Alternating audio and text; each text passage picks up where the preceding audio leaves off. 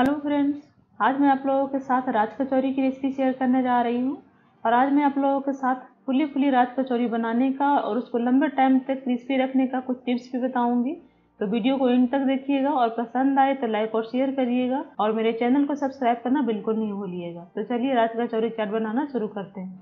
तो फ्रेंड्स सबसे पहले हम राज कचौरी का आटा लगाएँगे। उसके लिए मैंने आधा कप सूजी लिया है और इसमें हम आधा कप मैदा ऐड कर देंगे। और इसके साथ ही हम इसमें ऐड कर देंगे स्वाद अनुसार नमक। और एक चौथाई छोटी चम्मच बेकिंग सोडा यानी कि मीठा सोडा अब इन सभी इंग्रेडिएंट को पहले हम अच्छे से मिक्स कर लेंगे। और इसके बाद हम इसमें दो तीन चम्मच के लगभग में तेल डाल देंगे। और तेल को हम अच्छे से मिक्स करेंगे। तेल आपको इतना यूज़ करना है जिससे कि आटे में एक अच्छा सा बाइंडिंग आ जाए। ऐसा करने से आपकी रात कचौरी बिल्कुल खास्ता बनेगी। तो आप देख सकते हैं, आटे में एक अच्छा सा बाइंडिंग आ गया है। अब हम इसमें थोड़ा थोड़ा करके पानी ऐड करेंगे और इसका हम आटा लगा कर तैयार कर लेंगे। इसका आटा हमें बिल्कुल सॉफ्ट लगाना है, क्योंकि हमने सूजी का ज़्यादा इस्तेमाल किया है और सूजी बहुत ज़्यादा पानी सूखती है। तो इसका बिल्कुल सॉफ्ट आटा लगा कर तैयार करना है। जैसे आप रोटी का आटा लगाते हो, उससे भी सॉफ्ट लगाना है। और ये मैंने इसका आटा लगा कर तैयार कर लिया है और बिल्कुल सॉफ्ट आटा लगा कर तैयार किया है। अब हम आटे को दो से तीन मिनट तक इस तरह से मिला देंगे और इसके बाद हम इसे ढक कर पंद्रह से बीस मिनट के लिए छोड़ देंगे। पंद्रह से बीस मिनट में सूजी हमारी अच्छे से फूल जाएगी और आटा हमारा थोड़ा सा सख्त हो जाएगा। हम ढककर छोड़ देते हैं। तो पंद्रह से बीस मिनट का तो हो गए हैं और चेक कर लेते हैं और आप देख सकते हैं सूजी हमारी बहुत ही अच्छे से फूल गई है और आटा हमारा थोड़ा सा सख्त हो गया है। और हम इसको दो से तीन मिनट तक इस तरह से मिला लेंगे। इसके बाद हम छोटी छोटी लोइयाँ तोड़कर इसकी कचौरी बनाएँगे। तो हम इस तरह से छोटी छोटी लोइयों को तोड़ लेंगे और इसको पेड़े की तरह बनाकर इसको हम बेलेंगे। इसको बेलते टाइम बस ध्यान रखना है कि इसको हमें बहुत ज़्यादा पतली नहीं करना है, नहीं, बहुत ज़्यादा मोटी रखना है। जो हम नॉर्मल पूड़ी बनाते हैं उससे थोड़ा सा हम इसको मोटी ही रखेंगे। और मैंने जो आटे में ऑयल का इस्तेमाल किया है, उसकी वजह से पूरी चिपक नहीं रही है। इसमें बिना सूखा मैदा लगाया ऑयल लगाए मैं बहुत ही आसानी से बेल पा रही हूँ। तो इसका आटा बिल्कुल इसी तरह का होना चाहिए।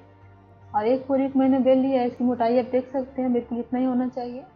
तो बाकी की सारी पूरियाँ हम सेम तरीके से बेल कर तैयार कर लेंगे और इसको बेलने के बाद हमें बहुत ज़्यादा देर तक इसको रखना नहीं है। इसको साथ के साथ हम फ्राई करते जाएँगे। क्योंकि यदि ये ऊपर से ड्राई हो गई है तो खिलेगी नहीं। इसको फ्राई करने के लिए मैंने पहले से ही तेल गर्म होने के लिए रख दिया है। तो फ्रेंड्स अब हम पूरियों को फ्राई करने का स्टेप में चलते हैं। तो इसको फ्राई करने के लिए तेल हमें अच्छा गर्म चाहिए। तो थोड़ा सा हम इसमें आटा डालकर चेक करेंगे। तेल हमारा कितना गर्म है, आप देख सकते हैं, आटा डालते ही ऊपर आ गया है। तो तेल हमारा अच्छा गर्म है। अब हम इसे बाहर निकाल लेंगे। और अब हम तेल में एक कचौरी डालेंगे, फ्लेम को हम हाई रखेंगे और जैसे ही कचौरी ऊपर आ जाएगी, इसके बाद हम इसको हल्का हल्का सा प्रेस करना शुरू कर देंगे। लेकिन जब तक कचौरी ऊपर नहीं आएगी, तब तक हम इसे छेड़ेंगे नहीं। और आप देख सकते हैं, कचौरी हमारे ऊपर आ गई है। तो हम इसको हल्का हल्का से इस तरह से प्रेस कर देंगे और प्रेस करते ही कचौरी हमारी बहुत ही अच्छे से खिल जाएगी। और जैसे ही हमारी कचौरी खिल जाएगी, हम फ्लेम को बिल्कुल लो कर देंगे और कचौरी पर हम इस तरह से तेल डालना शुरू कर देंगे। इससे कचौरी हमारी दोनों तरफ़ से क्रिस्पी हो जाएगी। तो लो फ्लेम पर इसे हमें फ्राई करना है, जब तक कि अच्छे से क्रिस्पी ना हो जाए। ध्यान रहे, कचौरी को फ्राई करने के लिए जो आप कढ़ाई इस्तेमाल करेंगे, वो गहराई वाला होना चाहिए ताकि उसमें कचौरी अच्छे से डीप हो सके। तो आप देख सकते हैं, एक कचौरी हमारी बहुत ही अच्छे से क्रिस्पी हो गई है। मैंने इसको बिल्कुल लो फ्लेम पर फ्राई किया है। अब हम इसे बाहर निकाल लेंगे। और दूसरी कचौरी को भी हम सेम तरीके से फ्राई कर लेंगे। आप देख सकते हैं कितना बढ़िया फूली और बिल्कुल क्रिस्पी कचौरी बनकर तैयार हुई है। दूसरी कचौरी भी हम सेम स्टेप को फॉलो करते हुए फ्राई करेंगे। ध्यान रखें, कचौरी डालते टाइम फ्लेम बिल्कुल हाई होना चाहिए और जैसे ही कचौरी ऊपर आ जाएगी, खिलने लग जाएगी, इसके बाद हम फ्लेम को बिल्कुल लो कर देंगे और लो फ्लेम पर इसको क्रिस्पी होने तक फ्राई कर लेंगे। और सभी कचौरियों को फ्राई करने के बाद इसको हम पूरी तरह से ठंडा कर लेंगे। इसको ठंडा होने के लिए आप पंखे के नीचे रख सकते हैं। जब पूरी तरह से ठंडी हो जाएगी, इसके बाद हम इसमें स्टफिंग करेंगे तो एक कचौरी भी हमारी बिल्कुल क्रिस्पी हो गई है और इसे भी बाहर निकाल लेते हैं। हमारी सारी कचौरी बिल्कुल ठंडी हो गई है। मैंने इसको पंखे के नीचे रख दिया था। बहुत ही ज़्यादा क्रिस्पी बनी है। अब हम इसमें स्टफिंग भरेंगे। एक कचौरी को आप दो दिन तक भी रखेंगे, तब भी ये बिल्कुल क्रिस्पी रहेगी। आप देख सकते हैं, बिल्कुल खास्ता और क्रिस्पी कचौरी बनकर तैयार हुई है। इसको हम बीच से इस तरह से फोड़ लेंगे और इसके बाद हम इसमें स्टफिंग करेंगे तो सबसे पहले हम इसमें बॉयल किया हुआ आलू डालेंगे स्लाइस में कटा हुआ। इसके बाद हम इसे मूंग डालेंगे। मूंग को पहले बॉयल करें, नमक डालकर इसके बाद इस्तेमाल करें। उबला हुआ चना।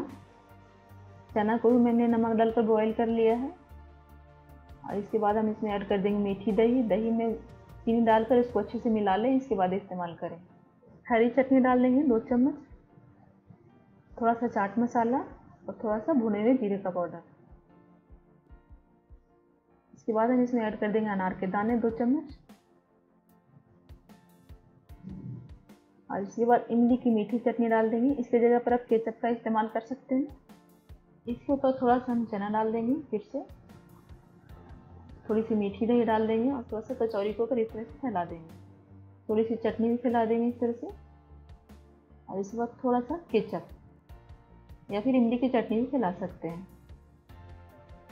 और इसके बाद इसमें डाल देंगे अनार के दाने इसके ऊपर से। और इसके बाद थोड़ी सी सेव नमकीन। ये हमारी बहुत ही ज़्यादा स्वादिष्ट राज कचौरी बनकर तैयार है। थोड़ा सा इसके ऊपर हम लाल मिर्ची का पाउडर डाल देंगे। यदि आप ज़्यादा तीखा पसंद करते हैं तो नहीं तो स्किप कर सकते हैं। तो फ्रेंड्स बहुत ही ज़्यादा स्वादिष्ट, खट्टी, मीठी, तीखी राज कचौरी बनकर तैयार है। आप इसे ज़रूर ट्राई करें। और मुझे कमेंट में बताएँ, आपको ये रेसिपी कैसी लगी? यदि आपको मेरी आज की रेसिपी पसंद आई हो तो इसे लाइक करें शेयर करें और मेरे चैनल को सब्सक्राइब करना बिल्कुल ना भूलें। थैंक्स फॉर वॉचिंग एक बार फिर मिलते हैं एक नई रेसिपी के साथ, एक नई वीडियो में।